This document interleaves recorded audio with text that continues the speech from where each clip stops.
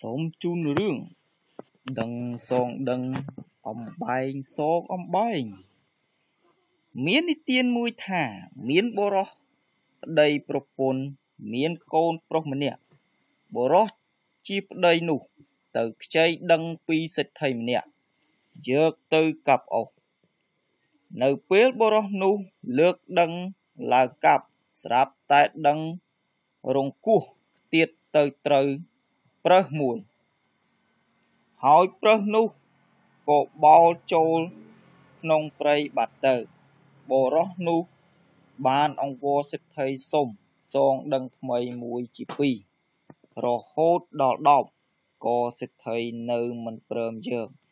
បរោះនឹងបរោះនឹងប្រពន្ធបានព្រមព្រៀងគ្នាយកកូនកំលោះ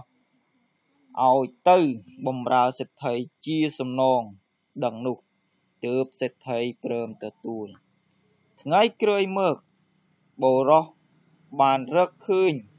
ដឹងនៅជាប់នឹងខ្លួនសត្វប្រើសមួយងាប់រលួយគាត់មានសេចក្តីត្រេកអរខ្លាំងណាស់ក៏យក